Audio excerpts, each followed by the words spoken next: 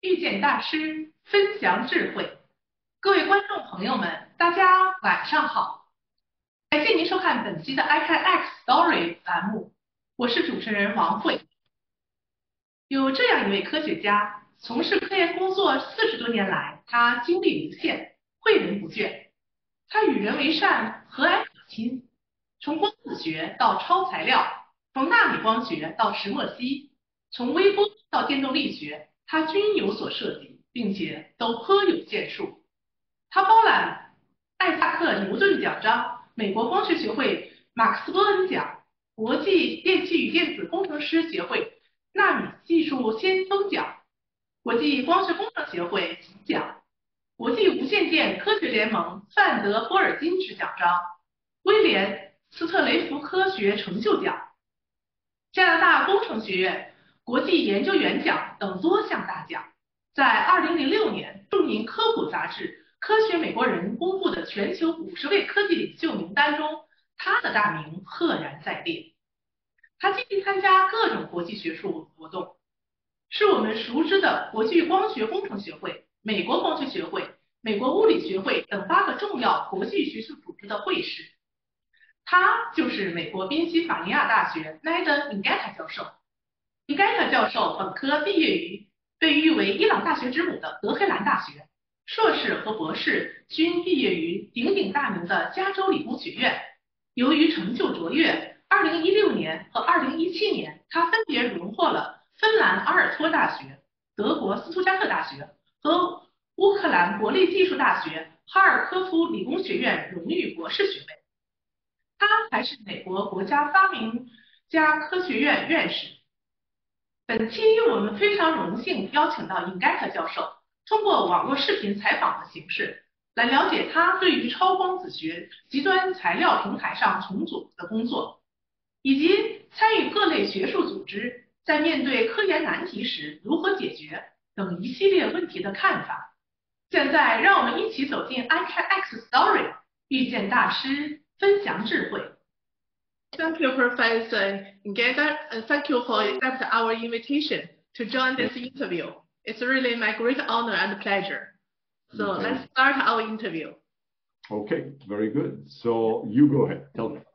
Okay, your research activities span a broad range of areas, including photonics, metamaterials, electrodynamics, microwaves, nano-optics, imaging and sensing inspired by eyes of animals, etc.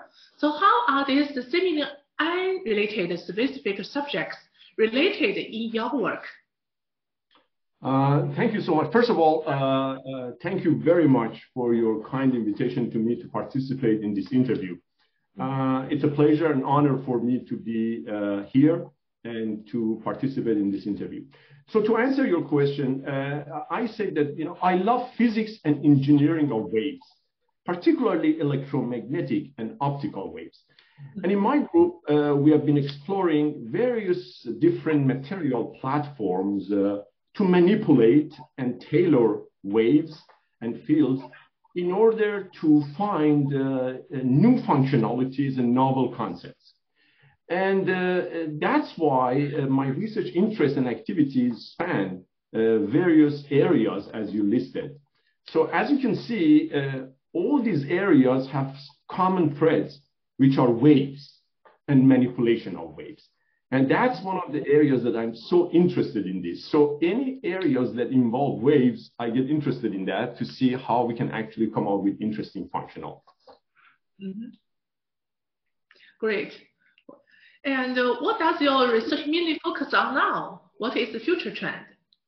Excellent. As I mentioned, uh, we are very interested in uh, exploring how the uh, specialized material, metamaterials, and different forms of material can help us to uh, uh, get interesting functionalities from waves. So one of the areas that we have been very interested in and working on, and on Friday I talk about some of that, uh, is the area that the, can metamaterial be used in order to do analog computations? In other words, can we actually do computation as the wave goes through materials? So essentially materials becomes like uh, computing machines, if you will. So uh, this is, uh, uh, we are very excited about this area because it has several interesting, you know, features and uh, potential applications. Another areas uh, is that we have been working extensively over the years is the area of material with near zero index properties. These will provide quite a fascinating phenomena in wave physics that can have interesting functionalities, various aspects, including wave-based devices and components, uh, quantum phenomena, uh, thermal radiation properties, and so on.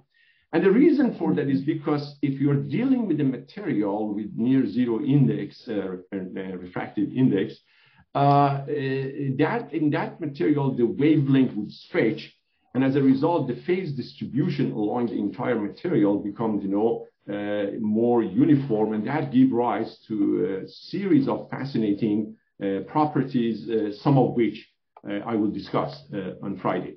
In general, we are very interested in the extreme scenarios in light matter interactions. And these extreme scenarios can involve, you know, uh, extreme in uh, degrees of freedom, extreme in processing at the nanoscale, extreme in the material parameters like near zero index properties and so on. Uh, and uh, I'd be more than happy to uh, discuss any specific point of view if you are interested. Great. Thank you. And I know that you have started and worked in Iran and the United States, and also you had collaborations with colleagues in Finland, Germany, and Ukraine. So what are your impressions of the universities or research institutes in these oh. countries? Okay. Yeah. Thank you for the question. Uh, uh, I've had collaboration with uh, many scientists from all over the world. And as you mentioned, including various different countries.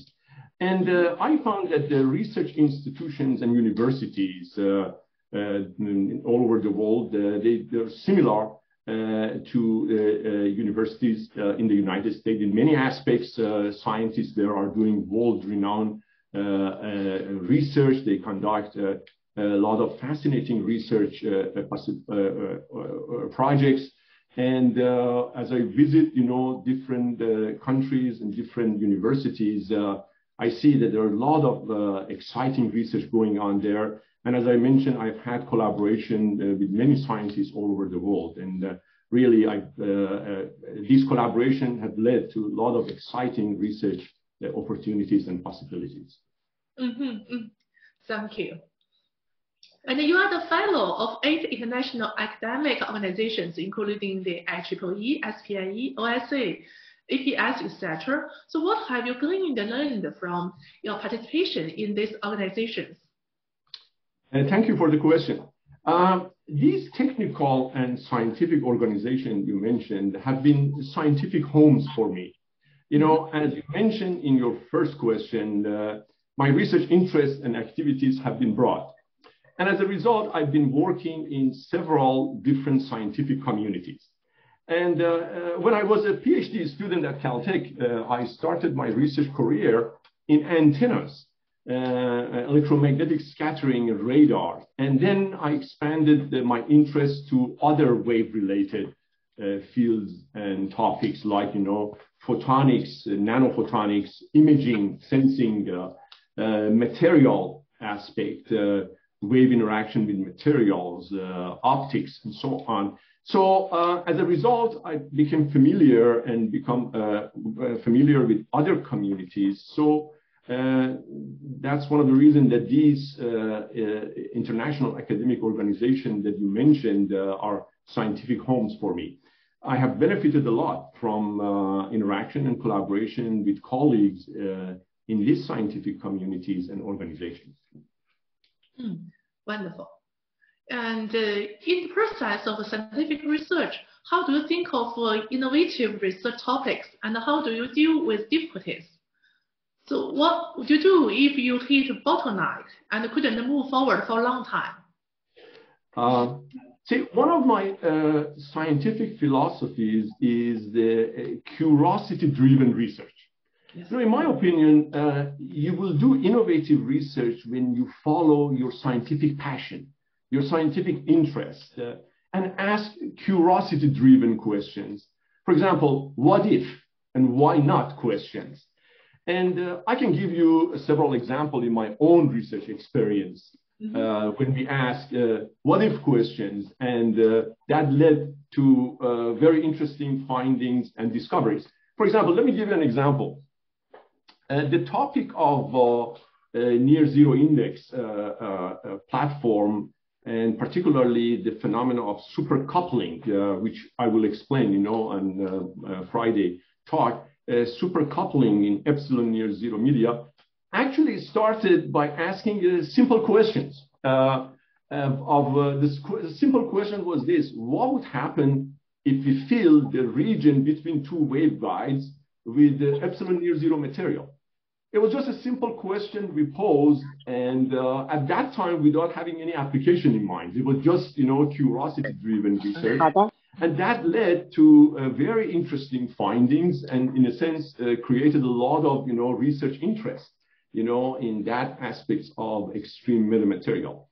And uh, now, beautiful aspects, in my opinion, one of the beautiful aspects of scientific research is serendipitous findings, you know, accidental findings. You know, uh, often when you follow certain lines of research, uh, you may accidentally discover something which you had not been looking for before. And that's one of the beautiful aspects of a research. And this happens in uh, curiosity-driven research. Now, you mentioned also in your question for the obstacles and challenges. Yes. Well, this is part of the research process. I mean, uh, research process is by its uh, very, pro- uh, I mean, uh, process its uh, successes and also obstacles. It's always uh, that that happens. Now, uh, how do we deal, you know, with obstacles and challenges? Well, in my opinion, you need to be patient and mm. try and try and try again. Uh, sometimes when you hit the bottleneck on a project, it would be helpful to work on a different project and then come back to the original project. You know, sometimes this will provide you with opportunities to look at the problem uh, with a fresh mindset, you know, and that then you may see a way to overcome uh, that bottleneck. Also, uh, and this is often happens, changing the mindset and thinking out of the box can be often also very useful in addressing and solving challenges. So challenges are important part of uh, research process, and uh, and that makes it exciting because when you overcome the challenges, you get, you know, the sense of excitement and success uh, after, I mean, uh, confronting the challenges. Mm-hmm. Great. Yeah. Curiosity driven research. Yeah, that's very important. That's right. That's very yeah. important.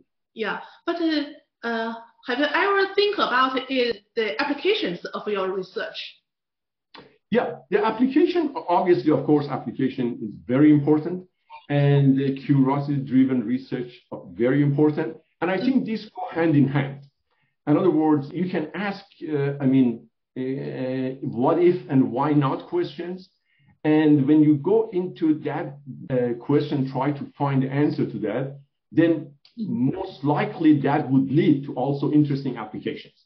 Sometimes the question starts from the applications. That's true. You know, for example, you have certain obstacle and you would like to resolve that. That also is interest, important. You may ask the question, okay, what if I use, you know, this parameter or what if I use that material in order to address this problem? That also is a, uh, is a combination of curiosity-driven research and application-oriented research. Thank you. Great. And uh, what do you think are the essential qualities of an excellent research scientist? That's an excellent question, by the way. And of course, if you ask every any scientist, uh, every scientist has their own list of you know uh, uh, suggestion for essential qualities. So, in my personal opinion, uh, here is some of the uh, uh, qualities that come to my mind. Mm -hmm. One, motivation and passion mm-hmm. and interest with what you're doing. I think that this is one of the very important aspects. One has to be motivated and really passionate about the, the topic that one is working on. Two, uh, we partially talk about that in our, your previous question, curiosity. I mean, I think scientists should be curious and yes. curious genuinely in what uh, that topic uh, uh that the scientist is working on. So curiosity and interest is in curiosity-driven research, as we talked about. Uh, number three, in my opinion, is the time management and efficiency. Uh, one has to be uh, efficient in time management, particularly in this day and age that you uh, do parallel processing. I mean, you do a lot of, you know, uh, uh, projects all in parallel. So time management and efficiency is important. Then another aspect, in my opinion, is also very important, is the connections among different fields, and analogy among the different fields. This actually I found quite fascinating. For example, uh, earlier uh, discussed about this issue of, you know, for example, connection between the optical uh, physics and, you know, the biology of visual system, for example. I mean, this connection is quite fascinating. And sometimes when we go from one field of research to another field of research, all the knowledge and the tools that you have developed in one field can be quite useful and fascinating in the other field. In fact, you bring a very interesting mindset to another field. And often you can actually solve a problem from completely different angle and new mindset. So I think the analogy and connection among the fields are very important. Eh, another quality, uh, I think learning, learning, learning, always learning new things. I think we are always a student for the rest of our life. We always learn. And yes. I think that makes it quite exciting. Finally, uh, and this goes without saying for any scientist, is that courage. You have to have courage in doing new things. Mm-hmm. In other words, when you are in the forefront of the topic, you know, uh, and that's what the advice I always give, you know, to uh, uh young scientists, uh, early career scientists, and, and students, that you know, have the courage, I mean, to go in the field that you will be in the cutting edge and forefront of the field and, and bring up, you know, new, new items and new discoveries there. Okay, very good, thank you. And uh, could you give a few names that have big influence on you in your life and why? Okay, uh, uh, thank you for the question. That's a good, very good question. Well, on the personal side, my family, my wife and my two children have been big influence on me and my work. Okay. Uh, on the professional and scientific side, uh, I can mention several names. Uh, my uh, thesis supervisor when I was graduate student at Caltech, uh, Professor Charles Papas of Caltech, mm-hmm. had a major influence on my way of thinking as a scientist. I mean, he taught me how to do science. And how to be courageous to go after new things in science.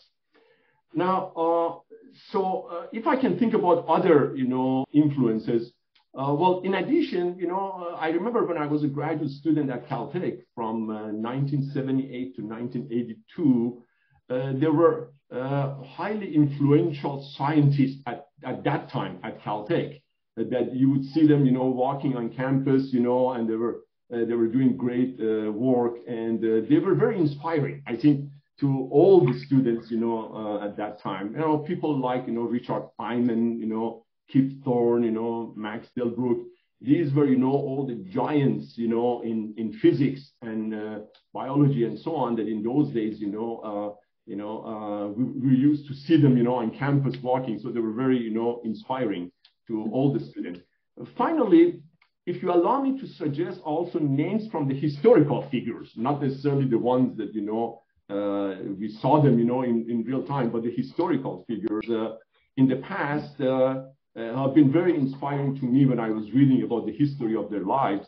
I can mention, you know, Nikola Tesla, uh, Michael Faraday, uh, Louis Pasteur, even though Louis Pasteur's field very, was very different than my field, but nevertheless, I think uh, uh, his his life and his passion for science uh, was very inspiring. So when I was reading the history about those historical figures, they were quite inspiring. Mm -hmm. Great, thank you. And Uh, as just now you mentioned your wife and your children, so I just wondering how do you balance your life and your work? Very good point. So as I mentioned, you know, uh, one of the items is the time management. So it's yeah. important that they, you uh, always have, you know, a good balance in life. I think balance in life is very important. Uh, uh I mean, uh, spending time with the family. Uh, I mean, is extremely important. So yes, it's I, I, advise to all the early career, you know, students that you know make sure you spend time with your family yes, you're very busy, you have a lot of, you know, projects and so on going on, but it's extremely important to also spend time with the family. So that, that balance is extremely important. Great, wonderful. And uh, my last question is that do you have any suggestions or tips for the young students who are just starting their scientific research? Uh, uh, yes, actually, I think uh, uh the message is uh, simple. go after your passion in science. Mm-hmm. Go follow what excites you in science. I think that's very important. As a scientist, you know, work is joy. I mean, when when we do research and you like the research you do, that's very joyful and it's very important. So my advice is always go after your passion in scientific topics, whatever that is. Follow that passion, follow what excites you in science, and uh, I've, I've seen it, by the way, in many examples of the people I've known that if you're interested and you love the subject, scientific subject that you're working on, you will do great in it. I mean, without a doubt. I mean, uh, you spend time in it, you're motivated to do it, you're passionate about it, and you go and do the job regardless of what topic it is in science, as long as you're interested and you're excited about it. Yeah, it's very important. Okay, so thank you, Professor. Thank you very much. 当我们沉醉于霓虹灯的闪烁，享受着万物互联的便利，观看星辰不再是梦想，探索宇宙不再遥不可及。我们应该意识到，这些都是几千年来科学家不断发明创造带给我们地球人的福利。同样，相对于浩瀚的宇宙，我们的认知还很有限，还有诸多问题亟待解决。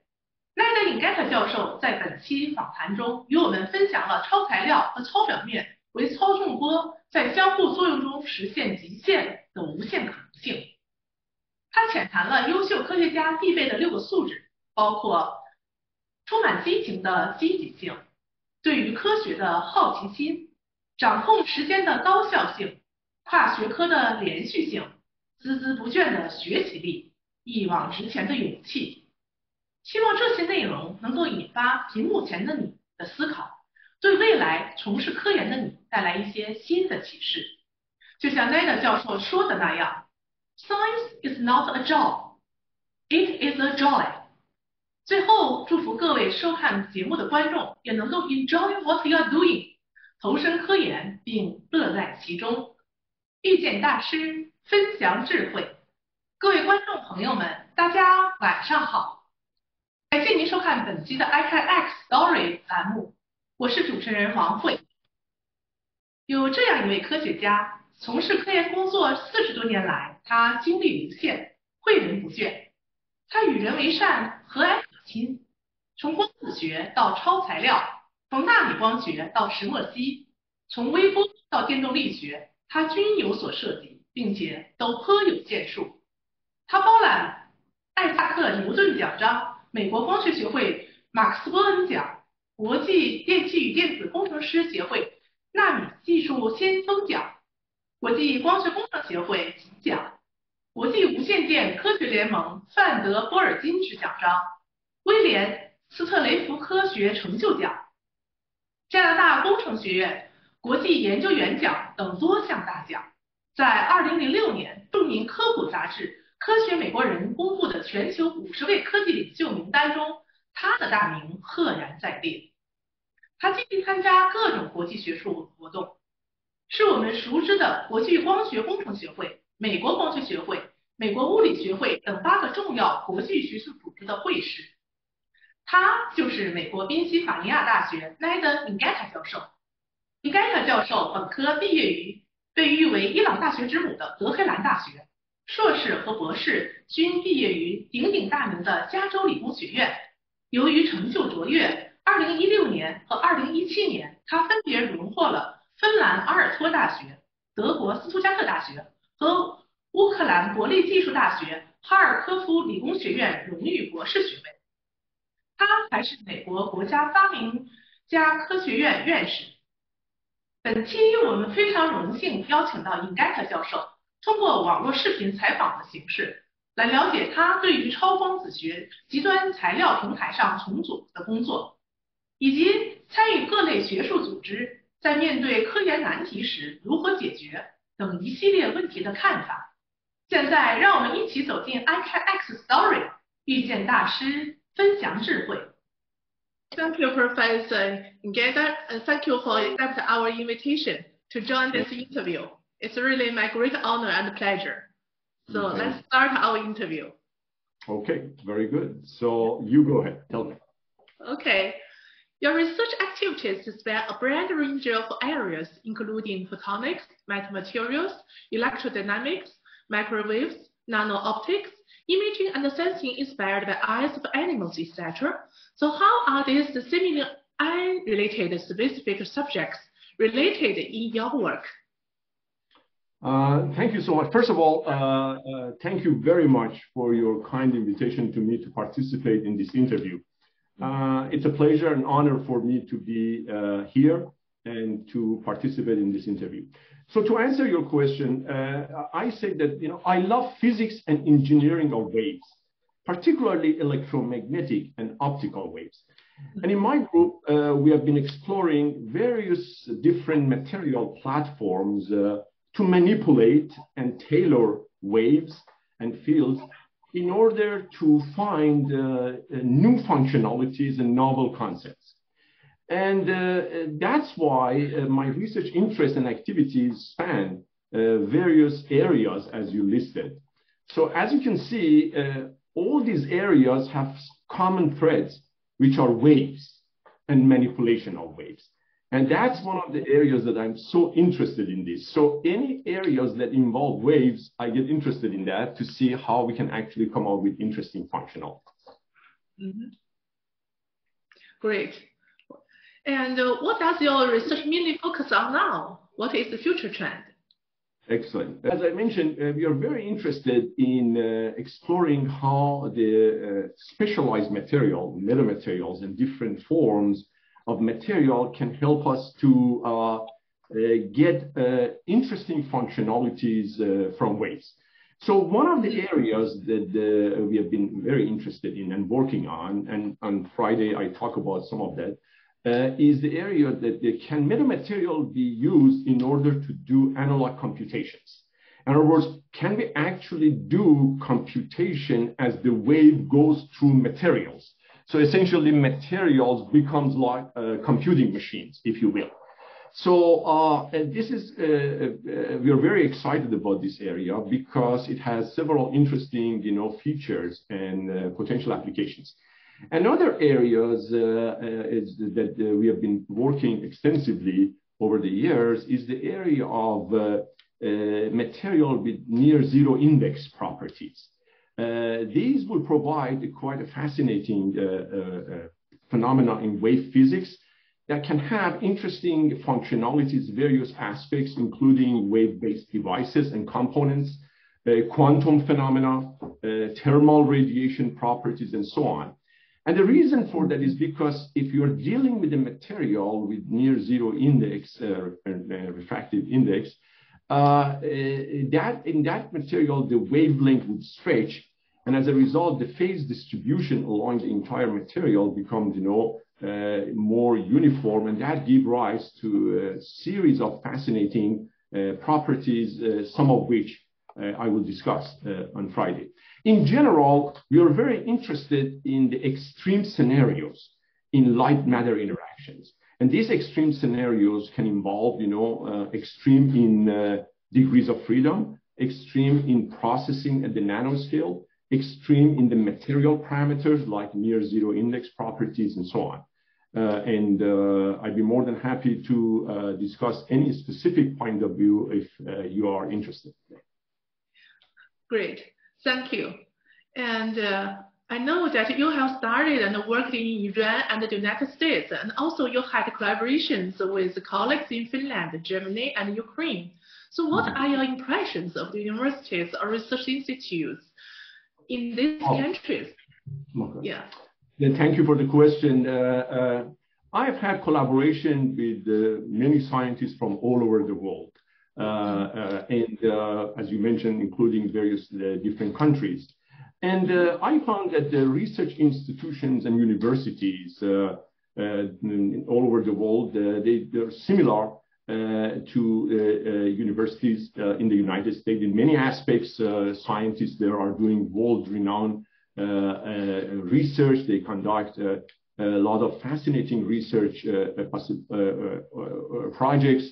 And as I visit, you know, different countries and different universities, I see that there are a lot of exciting research going on there. And as I mentioned, I've had collaboration uh, with many scientists all over the world. And uh, really, I, uh, these collaborations have led to a lot of exciting research opportunities and possibilities.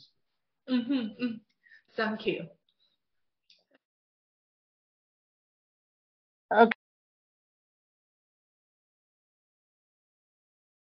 You can kick out anytime. Okay, good. Well, uh, good morning and good afternoon or good evening, and uh, welcome to iCANX Talks. And today is Friday, and every Friday we have these iCANX Talks. And purpose of iCANX Talks to really promote the science and scientists and connect the world through science. So really, science is global, and then we really want to really uh, bring the science and scientists together so that enabling uh, and promoting science. So really, my name is Jagadish, and I'm a distinguished professor of physics at the Australian National University, and I'm also an uh, editor-in-chief of the Applied Physics Reviews. And it's really a pleasure and honor for me to be the moderator for this evening's uh, session. And uh, really, it's a really pleasure and honor for me to really introduce uh, uh Professor Nader Engheta, our star speaker today, and, and he's an outstanding scientist and then well, world-renowned scientist and we're really honored to have him today at this iCANX Talks.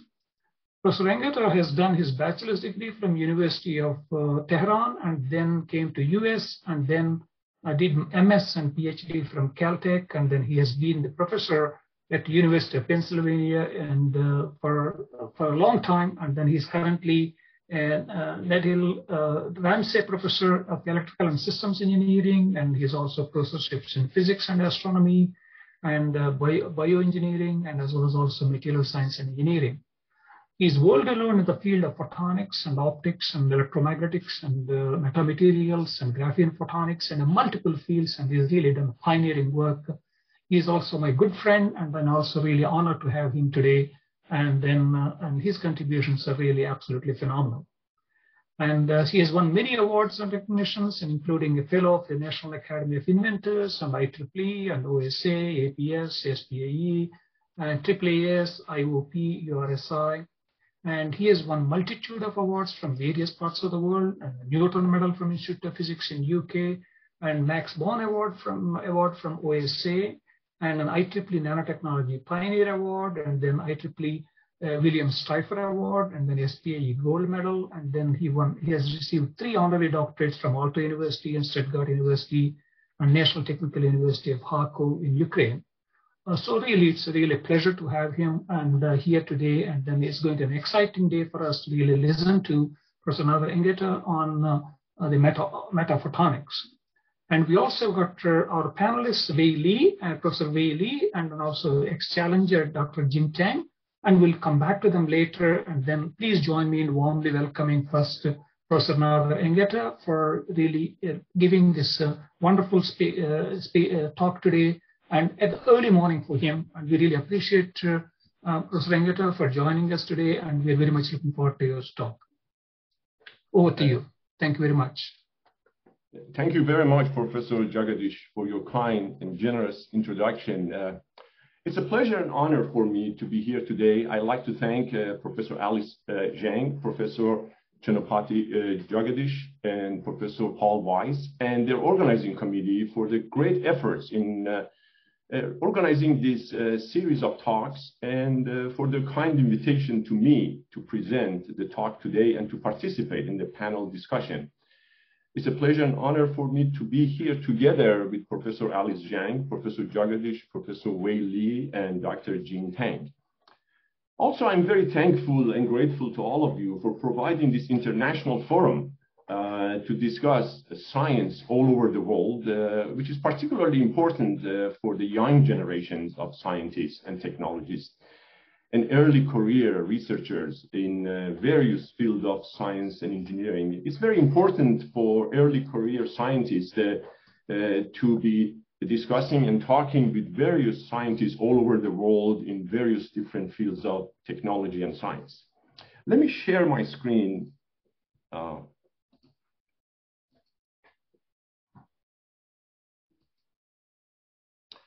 So uh, in this talk today, I'd like to present an overview of some of our work in the area of metaphotonics, um, in which we explore how the notion and concept of metamaterials, in particular extreme metastructures, can provide interesting light-matter uh, interaction platforms, particularly for manipulating waves in order to achieve uh, interesting and exciting functionalities.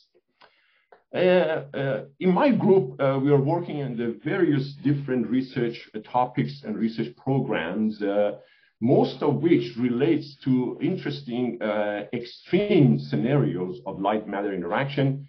But in the interest of time today, I will choose two research topics, which I will talk about. But first, let me first give a very brief, quick description of what metamaterials are. We all know that light matter interaction is governed by the laws of electrodynamics, both classical electrodynamics, Maxwell's equations, and quantum electrodynamics. And we often, in this type of interaction, would like to parameterize this type of interaction in form of uh, macroscopic parameters that you're all familiar with, uh, permittivity, permeability, uh, conductivity, nonlinear susceptibilities, chirality, and so on and so forth. Now, the, for materials that are naturally available in nature and like from the periodic table and the combination of elements from the periodic tables, uh, you have certain range of values for these parameters I showed in the previous slides. But the concept of metamaterial or composite material will allow us to actually come up with the uh, homogenized or, or composite material in which the material parameters or effective material parameters could have values outside the range of values that nature has provided us, of course, physically realizable. And the way this, uh, this concept works is the following, that you start with the host medium, and then you embed them with these uh, man-made inclusions into this. And as the wave, electromagnetic wave propagates through this structure, is going to induce electric dipole and or magnetic dipole moments on each of these inclusions. And those dipole moments re-radiate. So for the observer sitting outside looking at this ensemble would actually see an effective uh, permittivity, an effective permeability, an effective uh, refractive index. Now, it's one of the interesting aspects of metamaterial is uh, by proper design, you can have these effective values to have interesting range of values that would be very different than the values of each individual constituents that you have. And one of the another interesting aspects of this concept is that you can have control over various parameters and the composition of this inclusion, whether they're metallic, they're semiconductor, they're dielectric, alignment and arrangement of these inclusions, uh, density of this inclusion, host medium, and last but not least, the geometry and shape of this inclusion, which play an important role in the interaction of light with matter, and particularly in the last uh, uh, several decades, the nanoscience and nanotechnology allows us to actually have very interesting control over the geometry and size of this. Now, in the past uh, couple of decades, there have been a lot of activities in the area of metamaterial. Here I'm showing some samples from different research groups all over the world. And this the page is by no means exhaustive list of this. There are, I can show you pages and pages and pages of many examples from many research groups all over the world that have worked on area of metamaterial, but here I'm just showing a sample of these materials. In my group, uh, we are working on a variety of research program and projects currently, and these projects have different in, uh, aspects to them. Uh, and they deal with some of the, as I mentioned, extreme aspects of light matter interaction. These extremes can relate to, for example, uh, uh, extreme degrees of freedom. And for non-periodic structure, it can relate, for example, extreme in material parameter like permittivity near zero or index of refraction near zero. It can relate to extreme in making material four-dimensional. In other words, in addition to space variation, we can also have a time variation for the material parameters and so on and so forth. Uh, of course, as I mentioned, there's no time to go through all of them. So I picked two research topics, and for the rest of my talk, I will talk about these two. So let's start with topic number one. And this topic number one specifically, uh, we have been interested to see how the concept of non-periodic metastructures can help us uh, to do information processing. And I'm going to explain what I mean by these terminologies.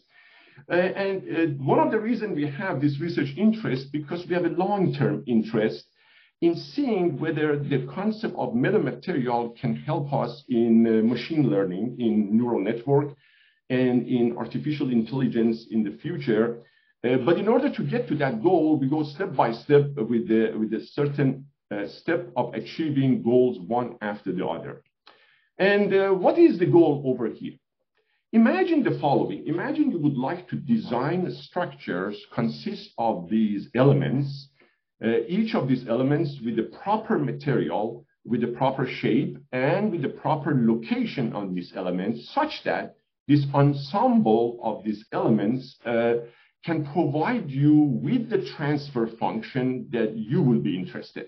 By that, I mean this, that if you have an incident wave, an arbitrary incident wave coming to these structures, and looking what comes out of that structure, you would like the relationship between the output wave to the input wave be the transfer function or the mathematical operation you like to have.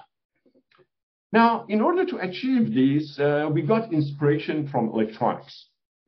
Several years ago, uh, I, I, was uh, asking these uh, uh, simple questions that we know in electronics, we have lumped circuit elements. Those of you who work in electrical engineering are very familiar with the elements of capacitor, inductor, resistors. So we pose this question, uh, can we actually have nanostructures in optics that when you illuminate it with the optical signal will behave as circuit elements, as a modular block of circuit elements? And indeed, we introduce uh, this concept, which we call it optical metatronics, and showing that with the proper material choice for these nanostructures, when you illuminate them with light, you can actually have an optical capacitor, optical inductor, and optical resistors. This actually helped us uh, to actually come up with this uh, uh, processing element. Why? Because the same way that in electronics, when you start with this circuit element, kind of like an alphabet of a language, and you put these alphabets together and you can have, for example, electronic processor, we ask ourselves this question, now that we have nanostructure that behaves as optical uh, circuit elements can be actually designed material structures such that it can do information processing for us.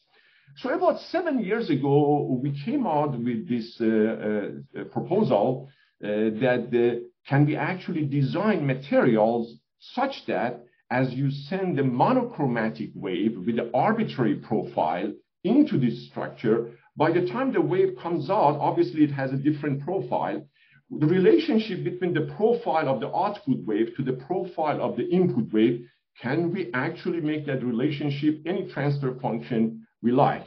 For example, we came out with a recipe how to actually design a material that as you send the wave through this, for example, it would take the spatial derivative for you of the, uh, of the profile of the arbitrary wave. And or another recipe became out to how we can, for example, do the uh, second derivative, spatial derivative, or integration and so on. So in other words, we were suggesting that to actually have a material that can do mathematics for you as the wave goes through this. One of the reasons we were interested with this idea was uh, uh, this one of the interesting potential application of this idea in image processing. So in that theoretical paper seven years ago, we proposed a recipe how to actually design a structure with a thickness about one wavelength uh, with uh, distribution of inhomogeneous material over here such that as you send a wave through this, you would actually get the second derivative of the profile of that wave. Now, why we were interested in second derivative is because, as you know, in the image processing, the operator of Laplacian actually is an edge detector. So we were saying that it would be quite fascinating to actually have a meta structure, meta surfaces that can actually pick up the edges of the image in an analog way. So please note that there is no digital system over here. This is entirely analog, works on the wave and in the parallel system. After this theoretical paper came out, several groups actually experimentally shown that indeed it's possible to actually design uh, meta structures that can take the derivatives. So we were very excited that our idea actually uh, can be expanded into uh, interesting aspects in the image processing. So as a result of this excitement, we said, okay, let's put our goal uh, at a more ambitious goal. Then we asked the following question. Now that we know that we can actually design a material that can provide you with the mathematical operation of your choice as the wave goes through this, would it be possible to design material that can solve mathematical equations for you? In other words, let the wave do the job of solving equation for us as the wave goes through the specially designed materials. So we decided to look at the, one of the most general Uh, uh, linear integral equation known as Fredholm integral equation of second kind that you see on the screen over here. As you know, in this type of integral equation, the function i is an arbitrary input that you have. The kernel k is given to us, and for any arbitrary i, the goal is to find the solution to this integral equation, which is function g. Let me make two points over here specifically. This kernel k I would like to emphasize that this kernel K is not shift invariant. In other words, the argument of this kernel is not y minus y prime, is y and y prime. This is very important because if it was y minus y prime, then you could use convolution. But we didn't want to go through the easy path of convolution. We wanted to actually try to solve a tough problem and so on. So this kernel is not shift invariant. And also the two limits of this is an, could be arbitrarily given to us from A to B. How do we go about designing a material structure, a photonic material, such that when you send an arbitrary function wave into this, it spit out, by the way, the solution uh, G. So we have to do two things. We have to design a structure over here that can actually provide this integral operator for the kernel K. That we know how to do with the previous work that we did uh, Uh, in designing mathematical operation. And another thing, we need to create a feedback system. And this feedback system would cause for any arbitrary input that you send over here, as the wave goes through this structure many, many times, what comes out of this would be solution to your integral equation. So essentially, we will have a material system that becomes analog computation machine, if you will. So uh, we have been working on two platforms on this idea. One platform involves the feedback with the inhomogeneous uh, metamaterial, and this is one I'm going to talk about today mostly. And there is another uh, platform we are working on, and that is the combination of Mach-Zehnder interferometers together. Now, my good friend, Professor David Miller from Stanford, several years ago came up with the idea that if you actually put collection of Mach-Zehnder interferometers together, each of them with the two degrees of freedom for the phase shifts, then you would be able to actually have a linear operator being implemented by that. We were very excited about that combination of MZI, and we said, okay, if that's the case, if we add a feedback system to it, can we actually solve equation for that? And indeed, there are some interesting, you know, uh, constraints and uh, advantages for each of these two systems. Uh, in the interest of time, I'm going to talk about the one on the left uh, at the first part of my talk. So here's the idea.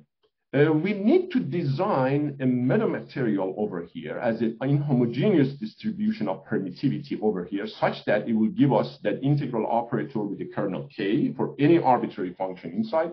And then you create this waveguide feedback system that you have over here. And then you have these directional couplers that brings your arbitrary input function to your integral equations over here. And then when this thing comes to the steady state, when you look at the magnitude and phase of the field at these waveguides, those will be the solution to your integral equation. We did a series of uh, theoretical and simulation work on this. And then after that, we decided to actually do the experiment to show uh, the proof of concept of our idea. And we decided to do the experiment in the microwave uh, domain because the system would be larger, so we can actually uh, test different parts of the system. So we decided to, for our experiment, to choose this kernel, which is, you know, uh, just a, a large kernel. This kernel does not represent any physical phenomena. We just choose this kernel to have the, one of the general kernel we can, we can think of. This kernel, as you see, is not a shift invariant. In other words, you cannot write this one in terms of y minus y prime. And you notice that it's complex and also is not separable. In other words, you cannot write this kernel in terms of multiplication of two functions, one of them y, the other one y prime. So using the method of inverse design from optimization, we came out with the distribution of a material over here, which as you see in this picture consists of two materials. The red one is polystyrene rexolite, which is a known material in uh, microwave uh, experiments. And the yellow region is, is essentially air.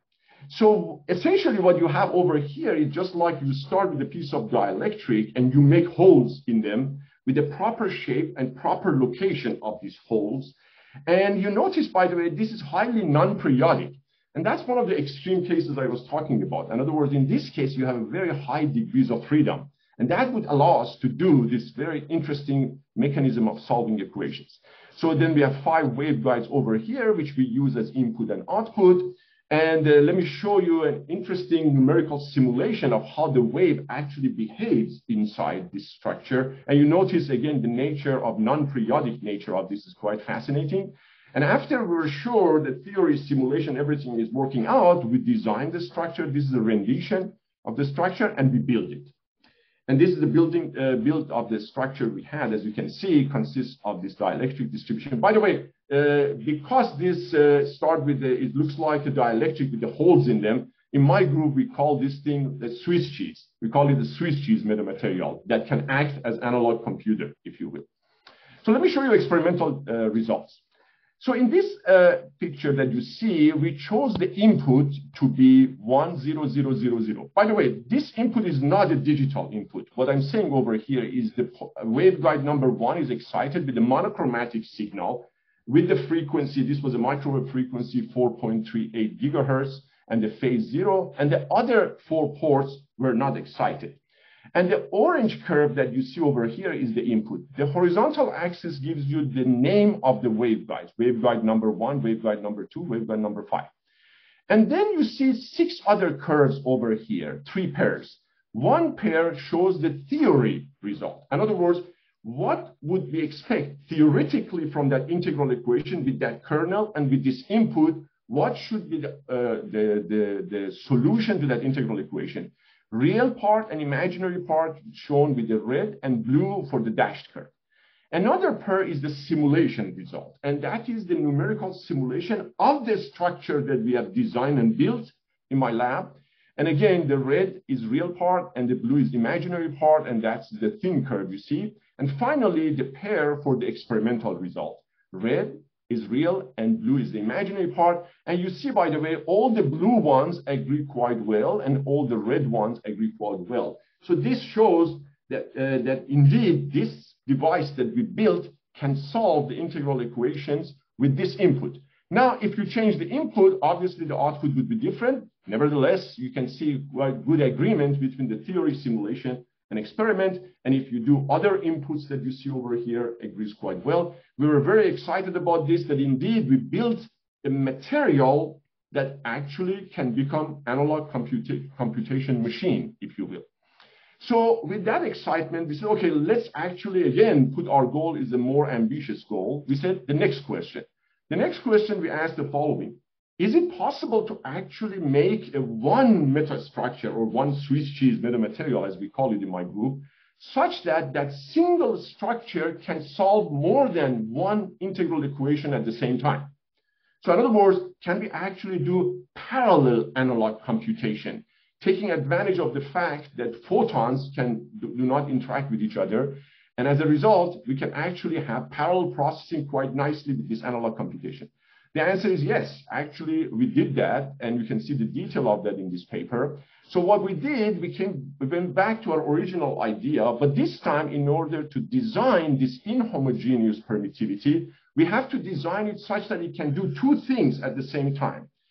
If you operate it with the frequency omega 1, it will give you the integral operator with the kernel k1, one arbitrary kernel, let's say. And if you operate it with the frequency omega 2, the same structure, without changing anything, the same structure would give you the integral operator with the kernel K2. And K1 and K2 are two different ones. Can we do that? Indeed, this was a very interesting scientific and engineering problem.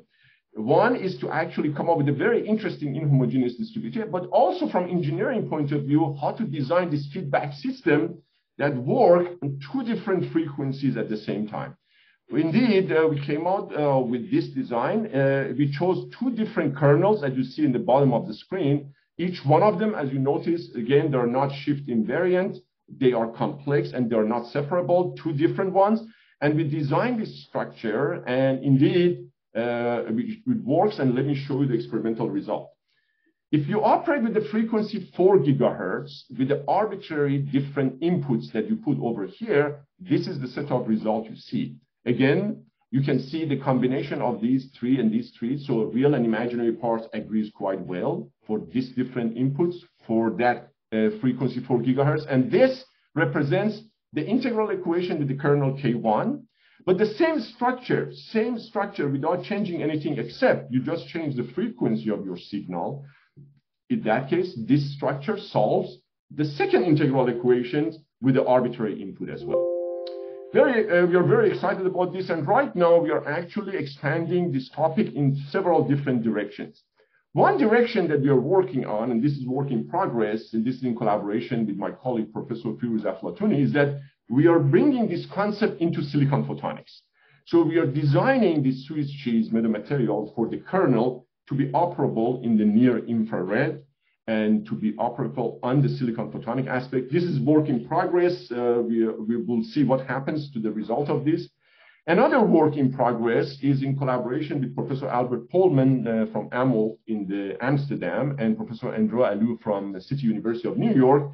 We are bringing this concept, instead of being inside a waveguide, we are bringing into the open optics by designing a meta surface and a semi-transparent mirror in order to actually see uh, what interesting, you know, equation solving capability we have. This is work in progress, and we're just about to submit the manuscript. The third uh, work in progress that we are pursuing this is the following. Since we showed that this kind of material can actually solve integral equations with waves, a natural question is that can we apply it to problems in physics and engineering that requires integral equation? And one of those problems in the inverse scattering problems which is a very interesting problem, by the way. Uh, various uh, groups uh, in microwave and optics are interested in that. In collaboration with my friend, Professor Ahmed Hoorfar from Villanova University, we are looking at this problem to see that creating this metamaterial machine can actually help us in inverse scattering problem. So uh, the vision we have for the future in this uh, uh, topic is that would be possible that in the future you would be able to actually have a programmable version of this type of Swiss cheese metamaterial. In other words, imagine that you can use, you know, using 3D printing or using rewritable uh, CD that we used to have in our laptop, can we use that technology in order to come out with this distribution in homogeneous distribution of a material such that you can actually do analog computations hopefully also with a coupling between them so you would be able to actually do a massively parallel system. And then when you're done with that, you can actually erase that and write another one. Could we do that? So this is something that, you know, we are working towards that in the future. So that brings me to the end of my first topic that I wanted to talk about. And uh, now I would like to talk about the second topic, which is very different than the first topic, but there is some interesting commonality between them, and that is extreme scenarios. In the first topic that I talk about, the extreme scenario was the fact that the system was non-periodic and you have high degrees of freedom. And you're taking uh, advantage of those high degrees of freedom in order to come out with this inhomogeneous distribution of a material in order to give you those, uh, uh, those mathematical equations such that when you send a wave through that, you can actually solve the equation with waves. So it would be a wave-based, material-based analog computation. In this second topic, we're going to completely different extreme scenario. And this scenario is when you actually like to have a material in which the refractive index would be near zero. That's another interesting scenario that I would like to talk with you about today. So let's go back to the basic.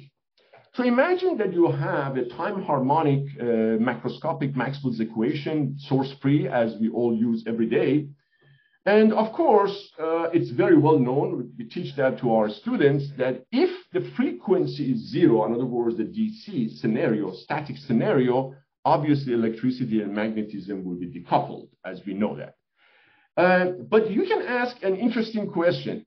Uh, since you can actually design metamaterial with the desired values of the permittivity and permeability you like to have, you may I ask the following question, would it be possible to design a metamaterial such that at the frequency of your interest, at the frequency of operation, would it be possible to have the effective permittivity, relative effective permittivity and relative effective permeability of that composite be zero.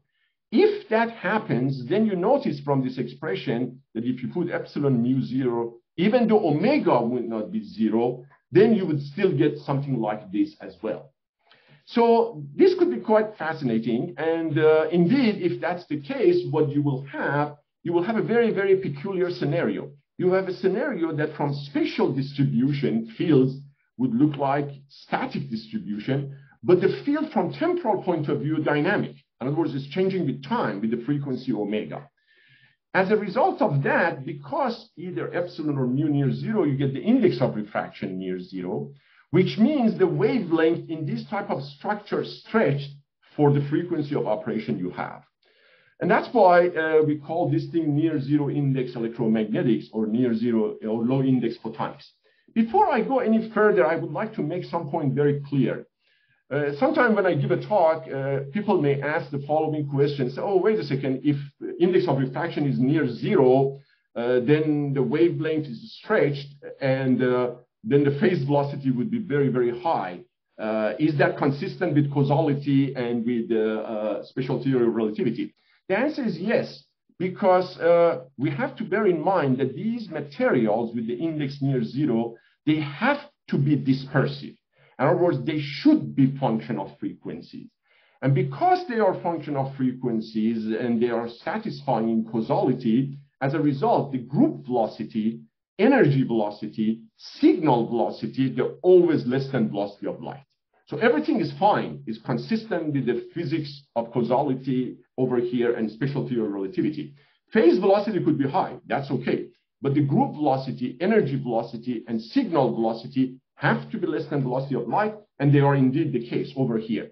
And one of the interesting points I'd like to emphasize is this phenomena that I'm going to show you, one of the, some of the interesting features of this near zero index material, it happens in the steady state scenario, not in the transient. In the transient, you have more than one frequency. So as a result, the dispersion have to be taken into account. But when we're talking about steady state, it means we reach the steady state and frequency is the one you're using. And then we're going to talk about the bandwidth and so on as we go through the talk. Okay, now, just to give you an interesting intuitive insight, before I get into some of the specific aspects of this near zero index structure, let me show you, let me give you uh, an interesting curiosity driven question. I know, by the way, uh, uh, one of the interesting uh, uh, I'm always interested in curiosity driven questions and to ask, you know, what if question or why not questions. and see what interesting physics come out of that. So let me ask one of those questions over here. Imagine that you have a parallel plate waveguide, simplest possible waveguide, with a perfect electric conductor, you know, plates top and bottom, and inside you have air. And imagine you have a TEM, transverse electromagnetic wave, is propagating in this parallel plate waveguide. Okay, very, very simple problem. Imagine one observer sits on the left and another observer sits on the right, and the observer on the right actually measured the magnitude and phase of the transmission coefficient. Well, the transmission coefficient magnitude is one, the phase with respect to this uh, thing would be whatever it is, let's say zero. Now, I ask the following question. Imagine you break this waveguide into half, put one half of it here, another half of it there, separate from each other, arbitrary distance, and let's say you want to connect these two pieces of waveguides with an arbitrary connections that you see over here. Couple of uh, assumptions. I'm assuming that this connection still has a PEC wall so the wave doesn't escape. That's number one. And number two is that the size and the shape of this connection completely arbitrary. Now, I ask the following question. If the same observer, one sits over here on the left, another one sits on the right over here, what should the material inside this structure be such that the observer on the right and the left would think that they're still sitting over here? In other words, to these two observers, this entire region in between would be invisible to them. Is it possible? before I give you the answer, you might say, well, how about if I use a Fabry-Perot cavity? Well, but the Fabry-Perot cavity has to have a specific size. So but here I'm saying an arbitrary size with the given frequency that we have.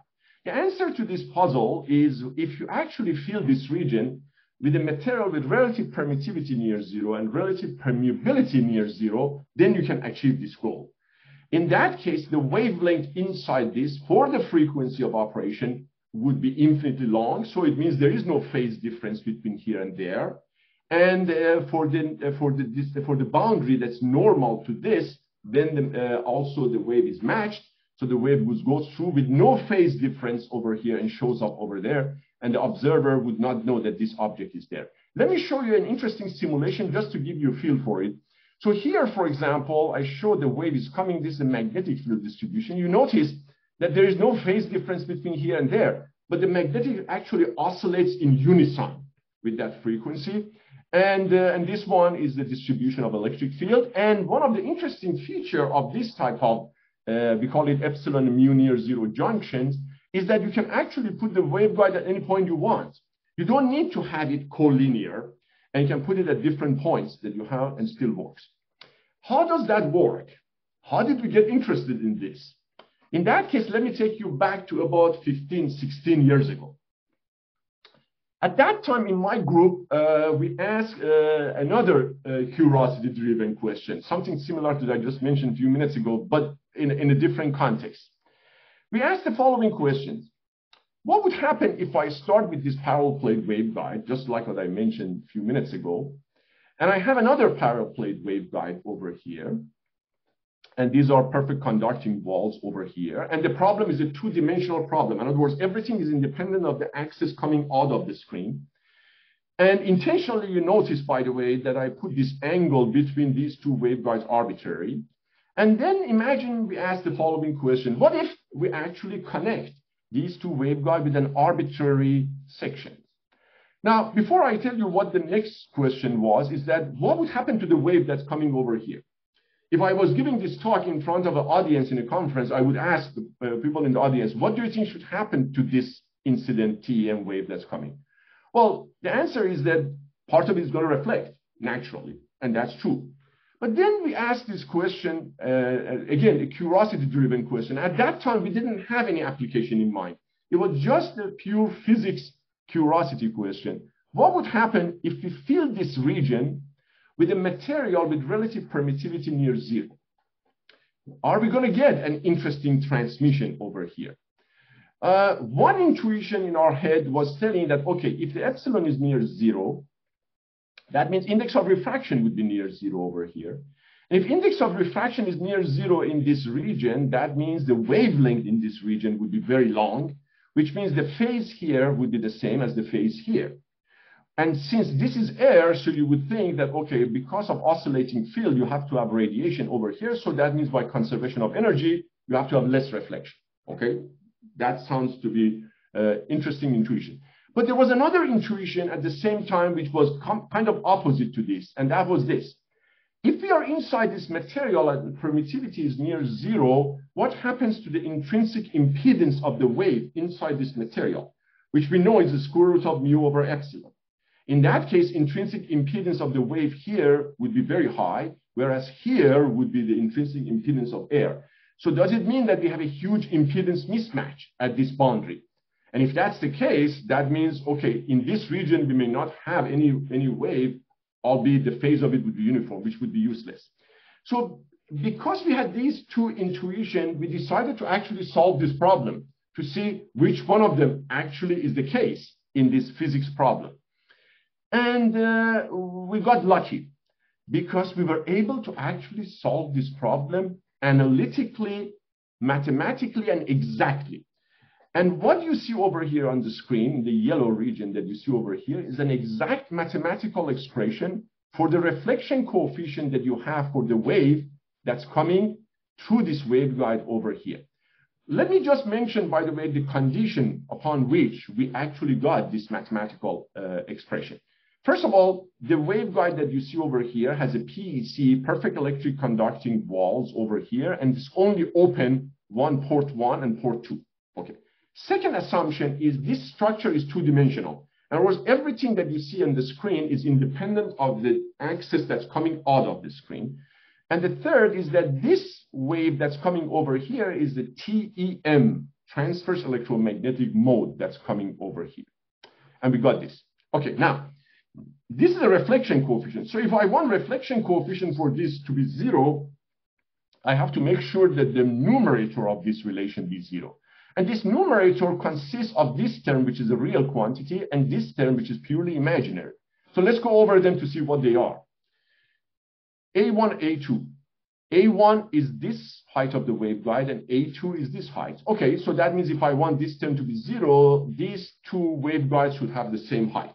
Okay, that's fine. But then uh, I have to make sure that this term is also zero in order to get rho, reflection coefficient zero. But this term, which is an imaginary term, consists of uh, three terms. If I make any one of them zero, I achieve my goal. What is K naught? K naught is omega over C, velocity of light. So that means if I want K naught to be zero, that means omega should be equal to zero. But that means a DC case. That's not interesting. What that means is that if I put a battery over here, I get see the same voltage over here. Okay, not interesting.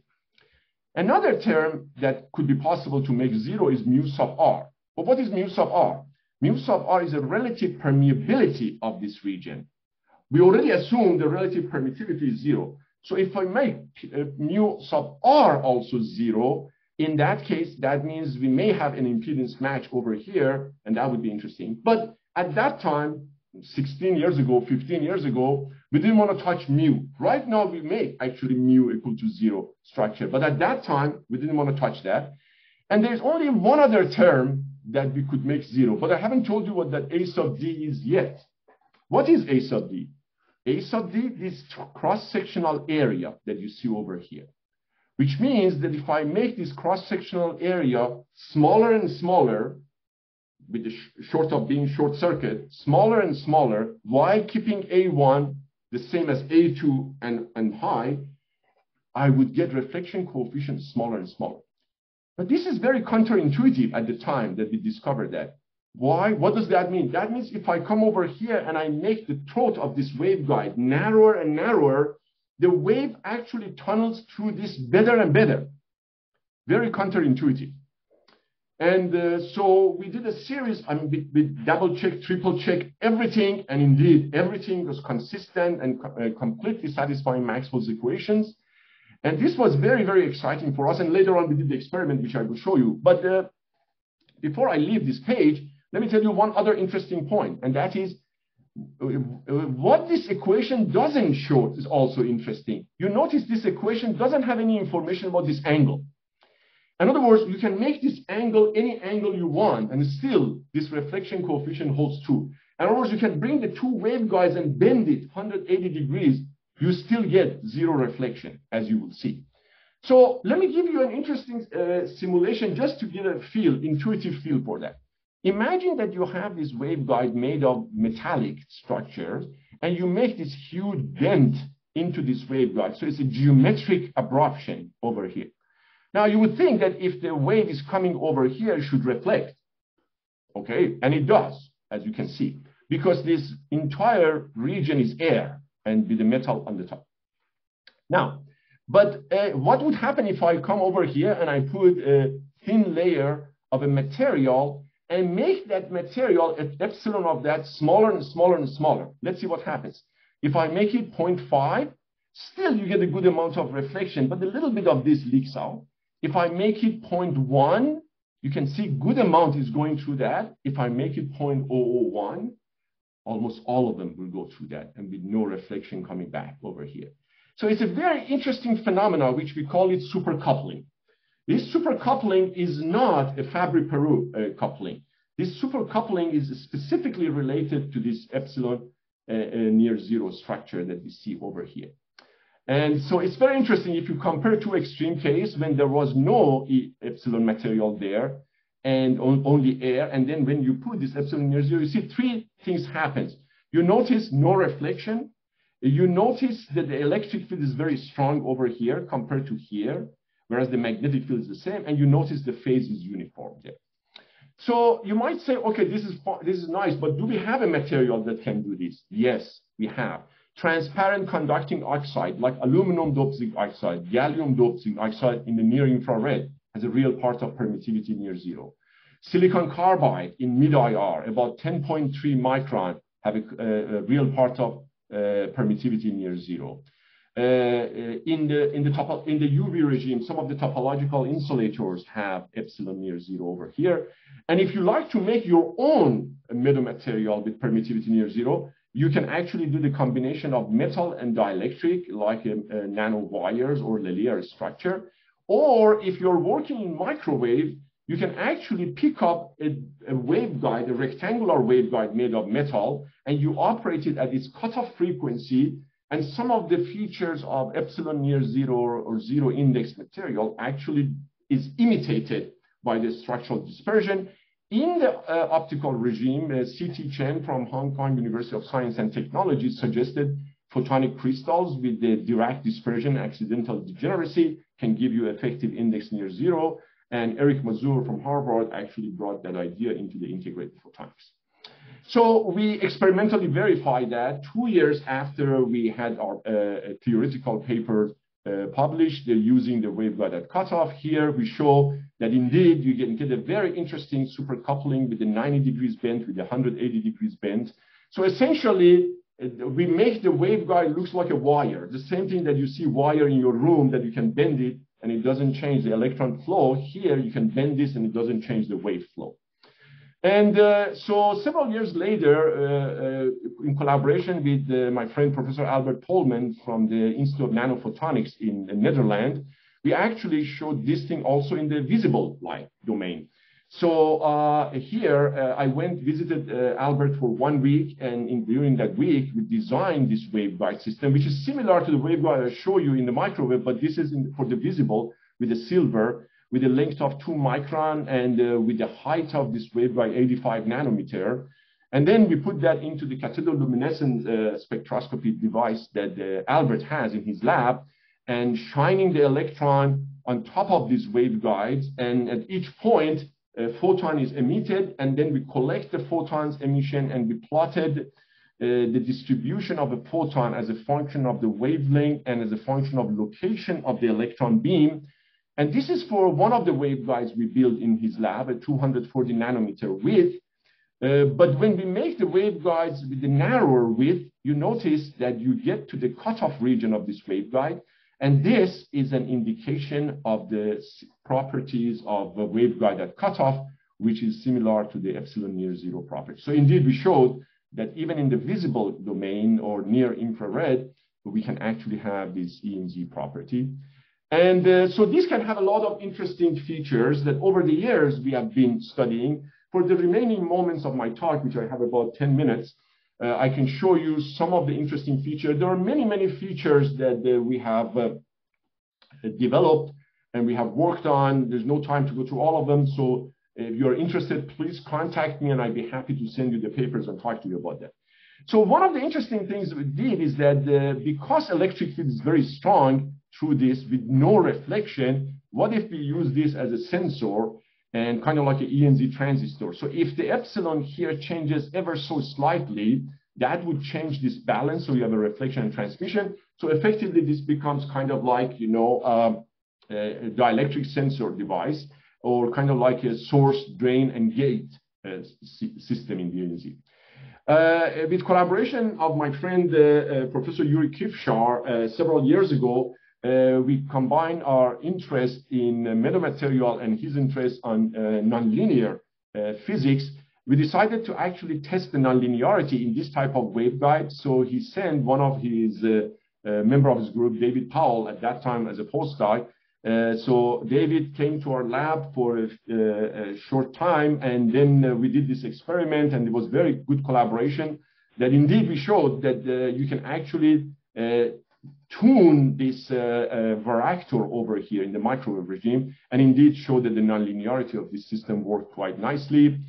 And uh, recently, by the way, as recent as 2016, uh, this nonlinearity has become very, very interesting in epsilon near zero materials. Several groups, Bob Boyd's group from University of Rochester, University of Ottawa, Vlad Shalaev, Sasha Boltasseva, and Daniele Faccio did beautiful works, both, both groups, beautiful work on uh, giant nonlinearity of uh, uh, indium tin oxide, and uh, also uh, our group together with Luca Dal Negro's collaboration, we look at the third harmonic generations of that. Now, as I mentioned, we looked at the various different aspects of this type of material. So let me show you a couple of two or three other examples and that will finish my talk.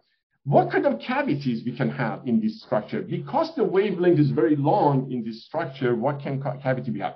Remember what I mentioned with regard to that blob between the two waveguides? Essentially what that means is even though when that blob has some geometrical size and physical size, but because the wavelength inside of that is very long, from electromagnetic point of view, it looks like a point. So what kind of interesting physics we can have in the cavity of that? So we all know, by the way, uh, that in the conventional cavity, when you have a cavity structure and you have a resonant frequency, if you change the shape of that cavity, the resonant frequency will change, which is very true. But not in this type of cavities with epsilon near zero material. So in this case, let me show you an interesting scenario. If you have a three-dimensional distribution of epsilon near zero and you put a dielectric sphere in the center of this, this structure has a very interesting electromagnetic mode. Here we'll show you, by the way, the electric field distribution and the magnetic field distribution of electromagnetic mode inside this cavity. By the way, this is an open cavity, so the wall is open. You notice something quite fascinating, that when you sit over here, you have an electric field that's oscillating with the frequency omega, but you don't have its magnetic field there. This is one of those cases I mentioned that the electricity and magnetism decouple, even though the wave field is dynamic field changing with frequency omega. And one of the interesting feature of this cavity is that the resonant frequency of this cavity does not depend on the external shape of this cavity. It's quite peculiar. So in this uh, uh, study, you show that this cavity actually, if you gradually change this cavity to this shape and then to this shape and then to this shape. So these are not four discrete shapes. You can actually modify the shape from one to the other. We call it flexible cavities. Indeed, our study showed that in all of these cavities, the resonant frequencies stay the same, but the quality factor changes. This is quite interesting because usually in the regular cavity, quality factor is linked also to the frequency. Here, the frequencies stay the same, but the quality factor can change over here. And we experimentally verified that in my lab uh, with, the, with the microwave Uh, in microwave domain. So we built three different cavities over here, as you see there. This blue is a cavity. You notice this cavity has three arbitrary shapes, but they have the same cross-sectional area. And then we put a dielectric rod, a single dielectric rod in one of them. Now you see three of them. That doesn't mean there are three rods. That means a single rod at three different locations. And you notice the resonant frequency does not depend on these locations either. That's another peculiar aspect of this cavity. So you have three different shaped cavities, and you put the rod at three different locations. You have nine scenarios over here. We built this cavity, as you see in my lab, for the uh, microwave frequency, and we did the experiment there. And you notice that all nine cavities shows the same resonant frequency, but different quality factor. Now, Please note that the, these are not discrete size cavity. You can make it any shape you want as long as the cross-sectional area stay the same. Now, uh, this can have an interesting effect, by the way, in uh, quantum optics. So we did this theoretical study that can this material actually control the vacuum fluctuations? And indeed, theoretically, we showed that using this type of material, you can actually uh, basically inhibit or reduce the vacuum fluctuation, which has a very interesting implication that if an excited atom inside this little blob, inside this material, that excited atom, the decay of that can be controlled and slowed down. We looked at another interesting feature called the e epsilon near zero levitations. We got inspired by the Meissner effect in superconductor in which the magnetic field is repelled we said, okay, by duality, if we have a, medium with the d uh, with the epsilon near zero, that means vector d is near zero. Can the vector d would be repelled? Which means if you have a dipole, electric dipole on top of that, could this be levitated? We did this theoretical study, and theoretically we showed that this indeed is possible. That created a lot of interest, and two of my friends, Pino Strangi and Onofrio Marago and myself are grouped, all three groups, you know, joined forces. And right now we are looking at the possibility of doing uh, some proof of the concept experiment. This is work in progress. And finally, can this have an interesting thermal effect? Indeed, yes, because uh, around the frequency for which the epsilon be near zero, that means the wavelength is stretched. And when the wavelength is stretched, that means that you can have a uh, spatially partial coherence. Now we know, of course, in thermal radiation, thermal radiation is incoherent. But if the material has the E and Z property, can we make the thermal radiation partially spatially coherent? This was the uh, idea that uh, we have uh, pursued, and, uh, and we did this theoretical study. And indeed, we showed uh, theoretically that it's possible to actually have a thermal radiation uh, that would be directive.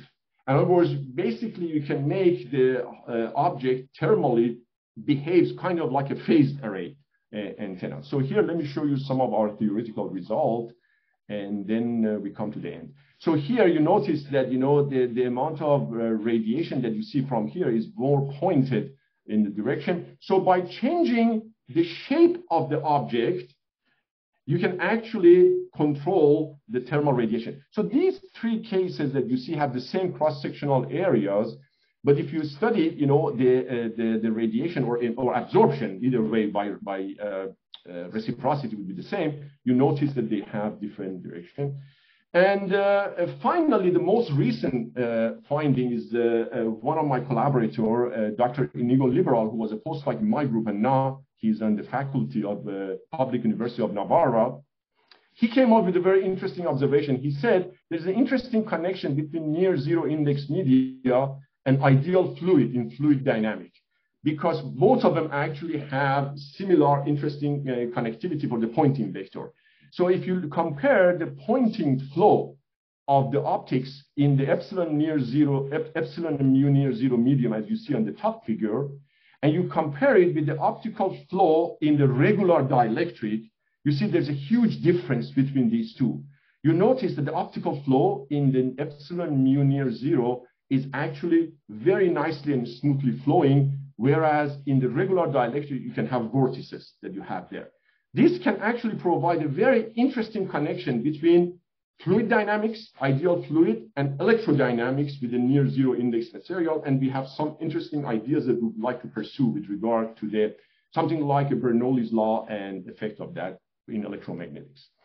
So that brings me, by the way, to my summary. Uh, sheet. Uh, I'd like to thank all of you uh, and organizers and all the audience for your kind invitation and for giving me the chance to give this talk today. And it's been a pleasure and honor for me to be here, and I'd be happy to answer any questions you have. Thank you all very much. Thank, thank you very much, uh, Professor Engheta, for such a beautiful talk. And uh, so really it's been very fascinating and, and, inspiring for all of us. And uh, it's really an exciting talk. And then you're really doing absolutely pioneering work. And uh, generally in, in these talks, and we get uh, multiple uh, requests uh, the in terms of questions, and then we typically restrict them to three because of the fact that we want to have some panel discussion about the general issues as well. Sure. So the first question is, Professor Engheta, amazing talk, really out of my mind what metamaterials can do. I am wondering if we can make the materials work as metamaterials machine and how to deal with the defects. In other words, can it be mass scale as production or just a small scale which can be controlled perfect? Uh, thank you very much for the question. Very nice question. Uh, our goal uh, is to actually make this thing uh, uh, in such a way that you can actually use it, you know, for different purposes. Now, with regard to the defect, uh, that's a very good question. Uh, please note, by the way, that when you actually design this structure, uh, I'm talking about the first part of my talk, and we're using metamaterial to do analog computations. Part of the uh, possibility of imperfection of making the material can be also included in your design objective functions. So in other words, uh, when you actually do this inverse design to come up with this inhomogeneous distribution, uh, one of the interesting points about the inverse design is that distribution of this kind of uh, dielectric constant that you get is not necessarily unique. It will give you the kernel that you want, but you can have different shape that will give you the kernel. Which means what? Which means you have high degrees of freedom, which means there are other parameters that you can actually introduce in your inverse design. For example, uh, can we actually add certain bandwidth that you want in this design? Can we add, for example, some possibility of imperfection in the things? Indeed, yes. In, in our analysis, for example, particularly for the silicon photonics that we are doing now with the collaboration of my colleague, uh, we have to take into account that what would happen if in the nanofabrication of silicon photonics there would be a variation, how much that would affect the effect. So that type of uh, uh, analysis can be taken into account. But our goal is really to look at this as a possibility in the future to have mass scale production of this. And one, one other comment I'd like to add is that I didn't get a chance to go through the, some of the detail of that, but it turns out that when you design this type of analog computing machine, if the Q of your system is not that high, actually that would give you more flexibility in imperfection. And that's one of the reasons, by the way, you saw that in our design, we also have some absorbers on the end. That actually would make the system to be more flexible from the point of view of this imperfection. The reason for that absorber is we wanted to actually make the kernel we want, but indirectly also it helped us make the system faster in finding the solution and also uh, the imperfection. Thank you. Uh, and let me go to the next uh, talk, next uh, question. Uh, Shin Shin from USTC, uh, USCTC, and Professor Engheta, thanks for your wonderful talk. The near zero index materials, it is really exciting topic. Could you please give some comments for the newcomer in this field and what kind of applications? Uh, thanks very much for the question. Uh, yeah, I mean, uh, this field, by the way, uh, has, has grown to so many different directions, by the way. In fact, literally, you know, in the past four or five years, every year there have been review articles, you know, coming out for this.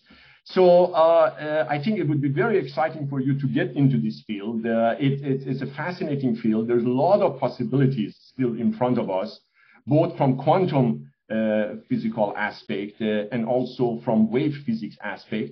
And I think the applications, you know, uh, coming out literally uh, every every short time, new application coming out. A lot of interesting possibilities, by the way, in quantum system. Uh, interesting possibilities, for example, for a thermal aspect, as I mentioned. And uh, in fact, just recently, I think it was two weeks ago, uh, my good friend, Professor Aaswath Raman from UC UCLA had a very interesting paper in Science about the thermal uh, radiation of, uh, of epsilon near zero material. So it's a fascinating field. Uh, uh, it's a field that is growing very rapidly. And get into that and contact me. I'd be happy to send you some of the review papers and so on, so to get you started. Thank you, Nader. And let me go to the next uh, question. And Professor Rangata, great talk.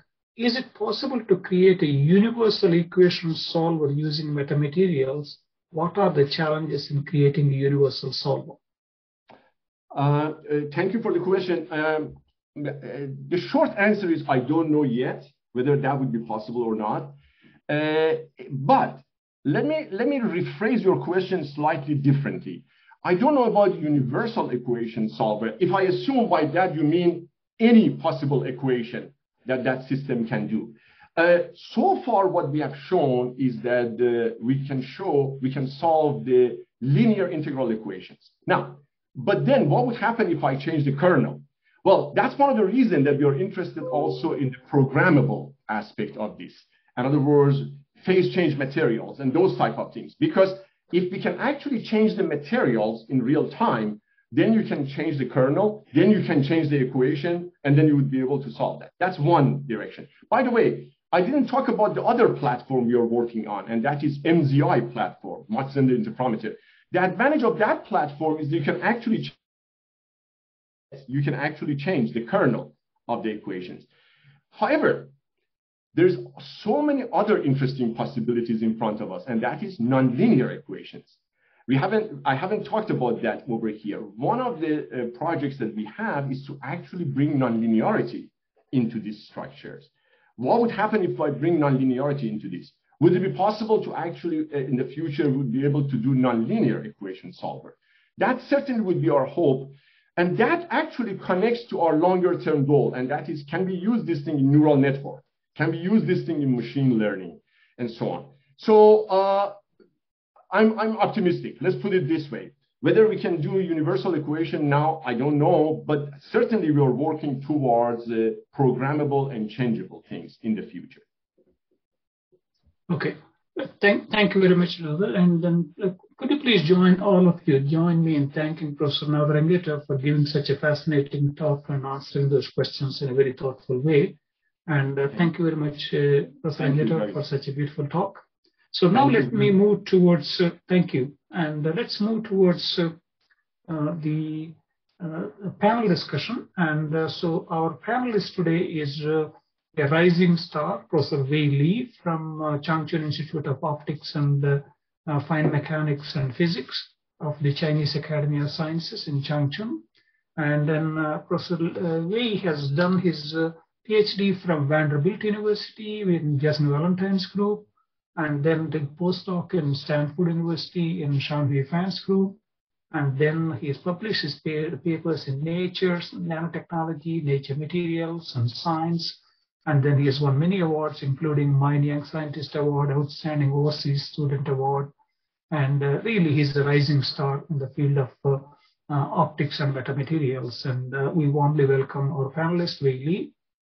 And also we got our challenger, and uh, this is Dr. Jing Tang, and then she's a research fellow at Stanford University in Yi Cui's group. And then she did her PhD in Fudan University and then gone off to MIT and Harvard and did her postdoctoral fellowship between Bob Langer's group at MIT and then uh, Dan Cohen's group at Harvard University.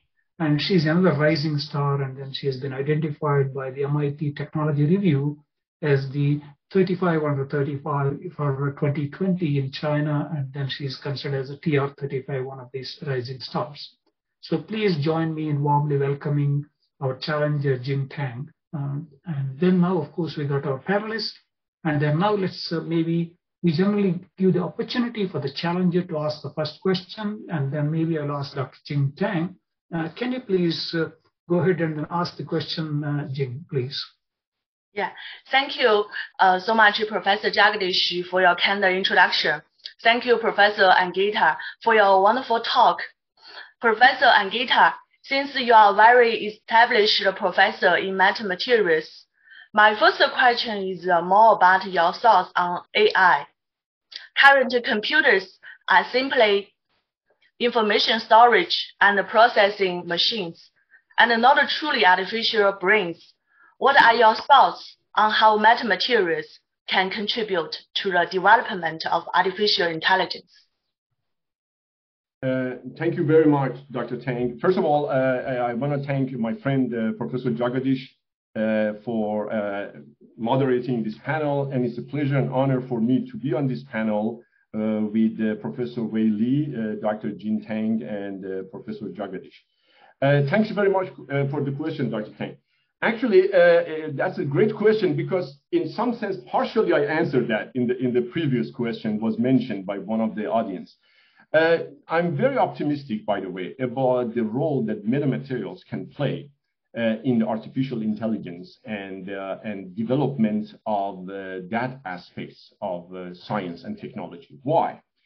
Because uh, optics has always been a fascinating entity in order to do information processing. Going back to basically the standard convex lens that would do Fourier transforming for you, you can imagine that the, you can have a lot of possibilities for uh, developing the field of metamaterial in order to control light and to control light in order to do information processing.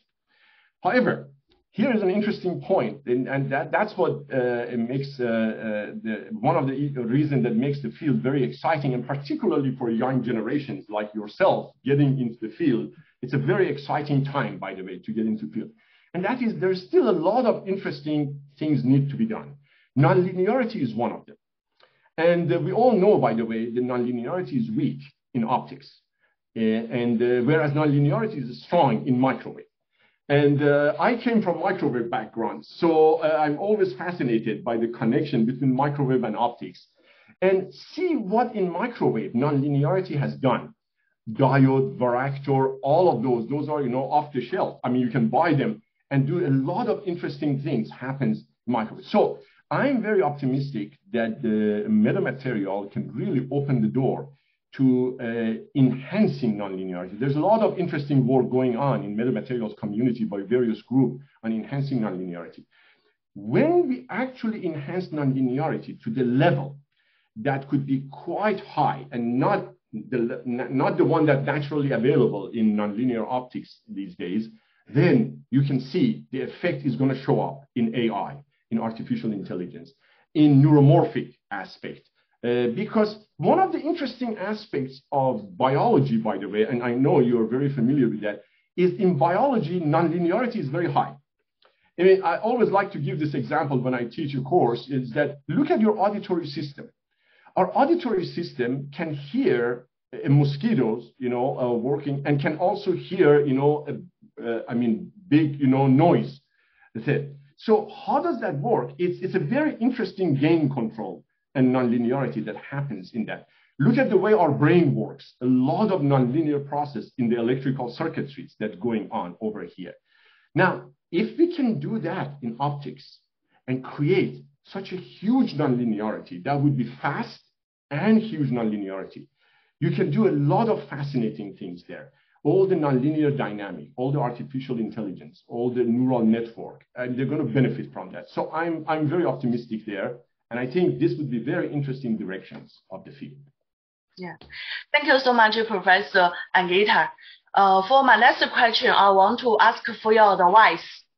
One of the challenges for me is to find a new research direction for my future lab.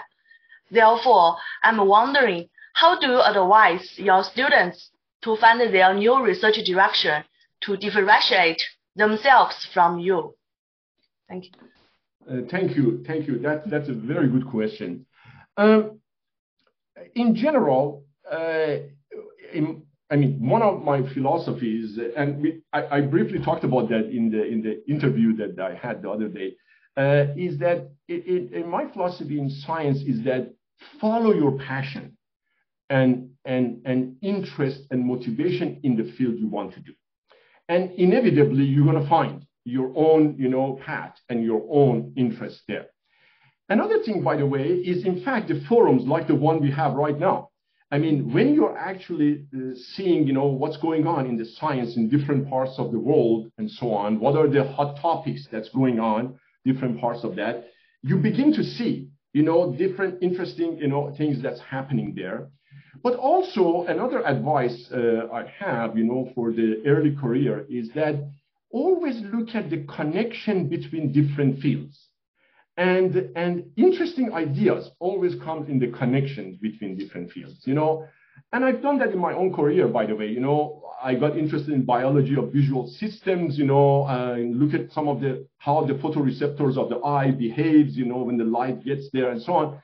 And then uh, you can bring uh, some of your uh, uh, interest from the field that you studied to the another field, and you have a very unique view for that. This is always interesting. Sometimes you notice actually in the history of science and engineering that when someone goes from one field into another field, it can actually bring interesting view and mindset that would be different with the, for, uh, with, the, with the mindset of the people who have been working on that field for some time. So this type of cross-fertilization between different fields can actually give you a very unique and specific direction that you can choose for your career.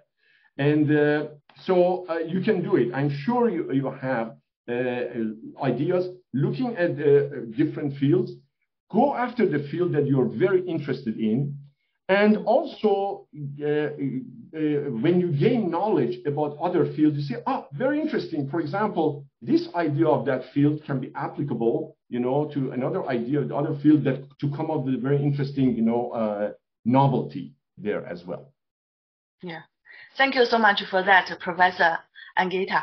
For my next question, I want to ask you about uh, how your work might impact biomedical research. You know, I'm very interested in uh, biology system. As a junior material scientist, I'm always thinking about how to create new materials that contribute to human health. I'm particularly interested in uh, potential applications of metamaterials to brain science. I'm curious to hear what ideas you might have in that connection. Uh, thank you for the question. Uh, let me answer that question in two parts. One, uh, the role of metamaterial in that aspect, but also let me give you uh, uh, the, another answer that relates to my own experience, not necessarily from metamaterial, but from other type of other aspects of my research interest. Let's start with number one, metamaterial. So whenever you can actually control light or waves in general. By the way, one thing I, I, I, have to emphasize, and I forgot to mention, every the concepts that we were talking about metamaterial in my talk and also right now, of course, we're talking about electromagnetics and optics, but there's a lot of work going on, by the way, in the metamaterial community in acoustics, in mechanics, and so on. So those also can have quite fascinating possibilities in biomedical sensing. And, uh, and indeed, you know, whenever you can control the waves, you can actually control them in such a way that you can use them in imaging. Uh, you can use them, for example, in uh, uh detection, like inverse scattering that mentioned. Uh, for example, the example I mentioned that you can design something that would show the edges of the images, you know, that could be quite useful in imaging system. If you apply that into acoustic, then you can say, okay, in that case, maybe the, the metamaterial can be useful in, in a sonar system, particularly in some of the aspects of biomedical aspects there. So this is uh, my answer with respect to connection of metamaterial to uh, biomedical. However, uh, in my own experience, by the way, uh, I, I, there's no time to go through detail, but let me briefly I mention uh, it, my, my career uh, several years ago, uh, when I was, you know, associate professor Uh, uh, many years ago, uh, I got, accidentally got interested in the field of polarization vision. I got interested into how some of the animal species in nature can actually see polarization of light. And this was thanks to one of my good friends and collaborators at University of Pennsylvania, uh, who now at UC Davis, Professor Ed Pugh, got me interested in that. We got we joined forces. We started looking at how some of these species can see polarization of light. That led to actually development of interesting camera system that we designed and built such that even the human beings can actually see the nature based on what those fishes can see with the polarization. And that opened up a very interesting set of possibilities in imaging that could be using underwater imaging. And one of the postdocs who was working with us, uh, Professor Victor Gruev, now he's a full professor at University of Illinois at Urbana-Champaign, and his lab actually looking at those polarization imaging for brain imaging.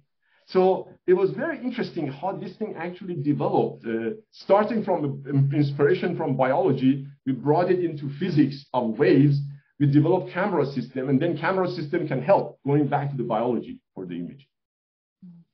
Thank you. Okay, thank, thank you, thank you, Dr. Jin Tang, for very nice questions, and also Professor Engheta for beautiful answers. And then maybe we'll go to the next our panelist, Professor Wei Li. And do you have any questions, Professor Li, for to Professor Engheta? Uh, yes. Uh, so first of all, I'd like to thank you, Professor uh, Jagdish, for uh, moderating this session. And uh, uh, Professor Engheta, thank you so much for this fascinating talk. And I really enjoyed uh, your talk, uh, uh, of course, every time since I was a graduate student. And every time after listening, hearing your talk, I would have some new thoughts and ideas coming out. And so really, thank you so much for this wonderful talk.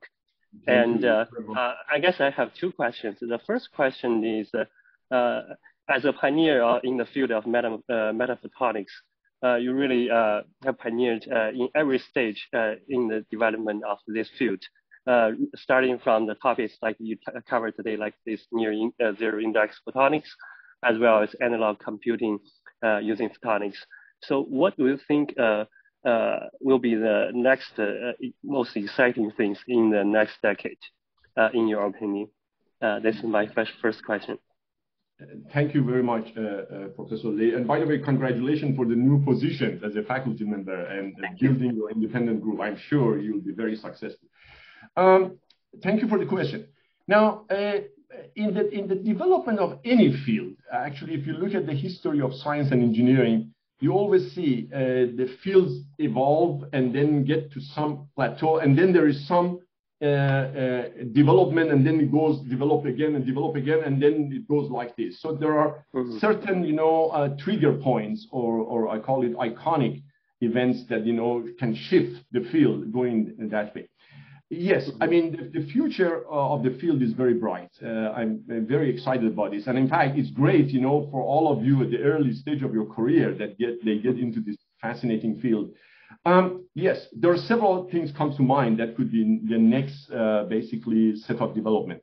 One is this area that, you know, it gains a lot of interest these days called uh, four-dimensional metamaterial. I, I, mentioned that uh, we have some research program group on that as well.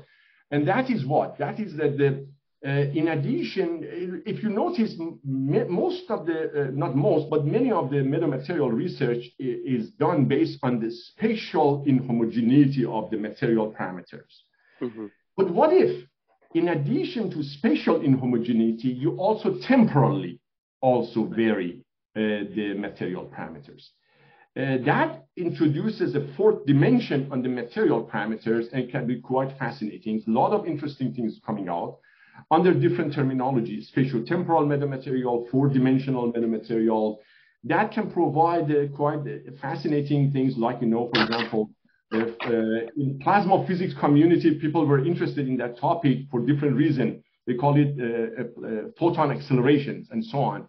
and But then now with the photonic, nanophotonic aspects, with the metamaterial aspect, it's quite fascinating to bring this concept into this. So this certainly would be one direction.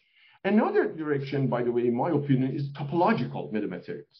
Mm-hmm. Because of advent of you know topological uh, insulators, which won the uh, Nobel Prize, you know, in physics, uh, for people who looked at the electron transport, you know, in uh, in condensed matter, that has come into various different, you know, there's a lot of work done on topological photonics. And inevitably, metamaterial can play a role there too. So this would be another very exciting direction to consider. Non-Hermitian uh, optics is another one that metamaterial plays a role. And also, by the way, another aspect which, in my opinion, should get more attention, but maybe has gotten less attention, is the reconfigurable or programmable material. I think that is another very fascinating direction that I think it should get more attention, in my opinion. Because after all, if you look at the history of computation, one of the reasons that digital computer actually became much more popular than analog computer is the fact that they're programmable. Right. That's one of the reasons. If we can make analog computers of these days, particularly with the nanomaterials and so on that I showed today, part of it, if we can make them programmable, you can imagine that can open up quite fascinating directions. Thank you so much for the Engheta. And uh, I have a second question. I, I, guess this question is to you and both you and uh, Professor Jagdish, as both of you are world-renowned scientists and have uh, collaborations uh, across the globe. Uh, so uh, I, for, for me, I just started a group my, as a faculty member in Chinese Academy of Science in Changchun Institute of Optics, Mathematics, and Physics. And I, am leading a lab uh, called GPL Photonics Lab, and uh, which uh, have a team of uh, really have a team uh, with uh, international background and with a diverse team from people not only in China but also from many other countries. And we really focus have a, want to do like international collaborations. Uh, so uh, what's your opinion? I guess this is for uh, Professor Engheta and for Professor Jagdish as well. like, what do you think about the international collaborations uh, of course, it, it, as you can see, is uh, affected somewhere, somewhat by the COVID situation. And uh, what, what's your opinion about international collaboration uh, post-COVID? Uh, okay, uh, my friend, Professor Jagdish, would you like to go first, and then I go next, or either? Okay, no, okay, okay. Thank, thank you. the way maybe I can, I can start. I'll give you a little bit of break because you've been talking for quite some time, and then you can really follow. Uh, so, firstly, and very nice question and very important question. The my philosophy always has been there are no national boundaries for science and engineering. We can work with anybody. The science language of science is universal. So I've had the pleasure of working with colleagues from 30 plus countries all over the world and then benefited from those collaborations. The beauty of working with others is that uh, we are really collectively be able to really brainstorm ideas and be able to bring different perspectives to solve the problem at hand. So that really helped. I've learned a lot from my collaborators. And the important thing to really do that one is that uh, you need to develop your own core competency first. Once if you got core competency, international collaborators want to work with you. So thereby collectively you can really work with each other.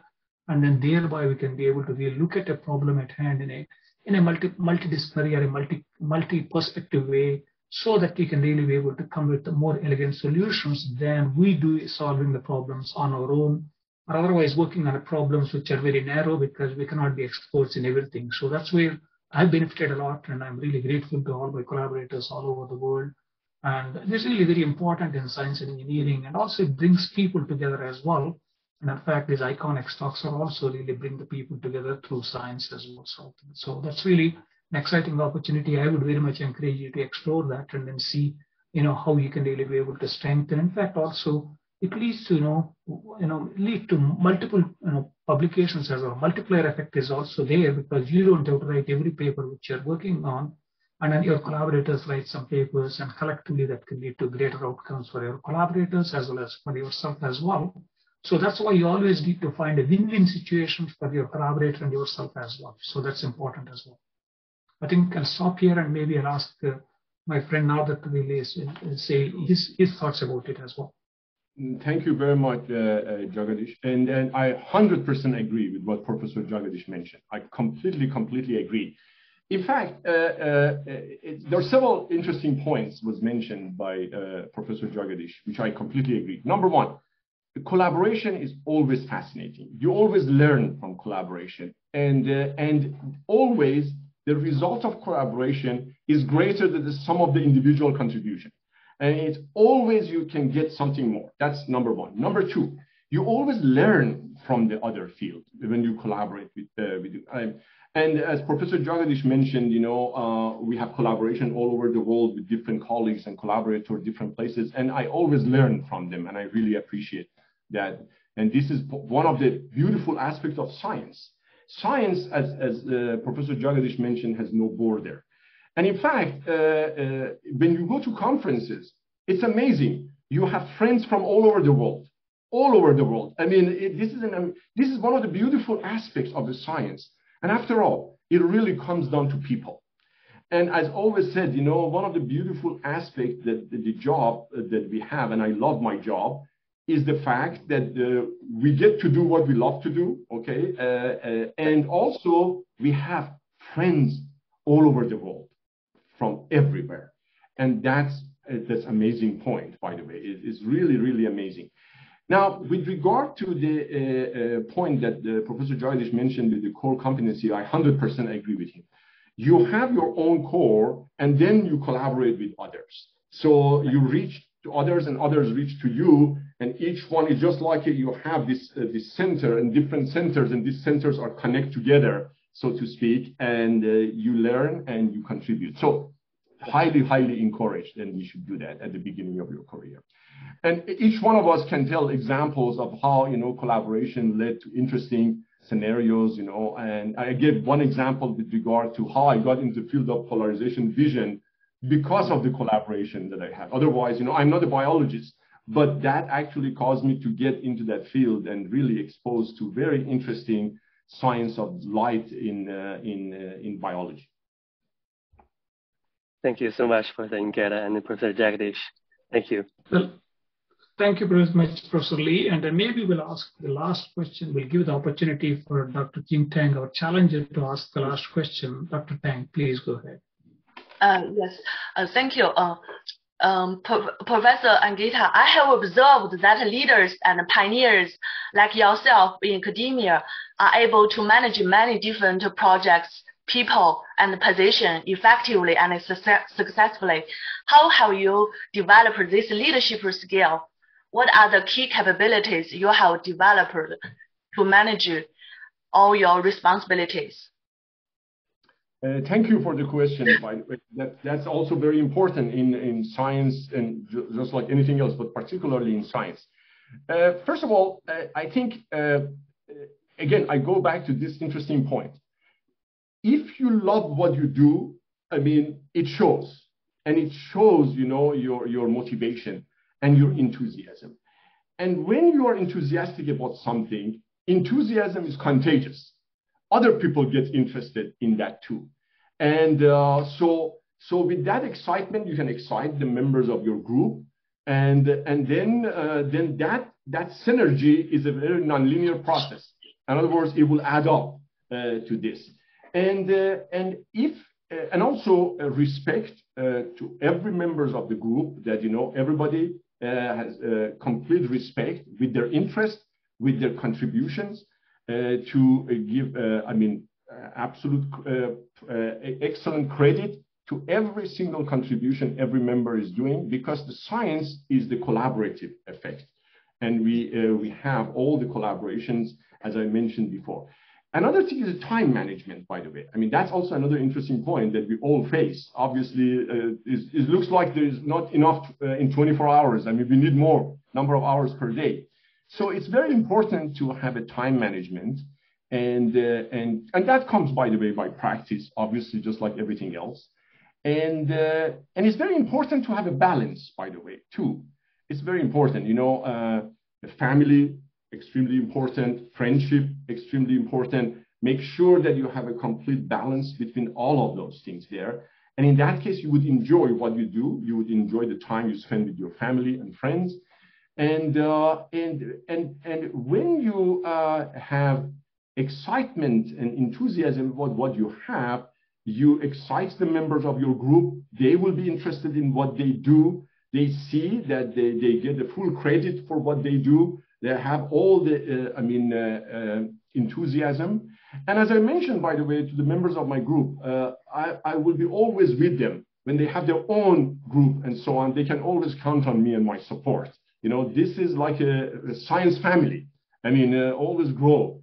And I, am very proud of all of them uh, for uh, what they have done uh, uh, on the, independently on their group and, and so on. So we keep always in touch with them, and that will give you a leadership quality. Now, the same thing can be applied in the in the international level. In other words, when you are active in scientific communities, scientific societies, that leadership comes uh, from that as well. Start from your group and then grow becomes larger and larger.